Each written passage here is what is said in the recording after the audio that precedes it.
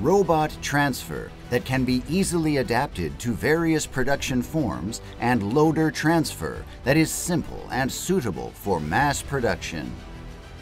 Customized proposals are available to suit your application.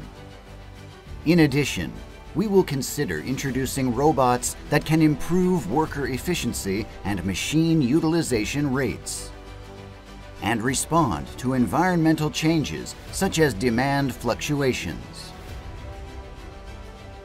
When mixing several types of workpieces, the robot hand changer automatically changes the clamping claws of the workpieces.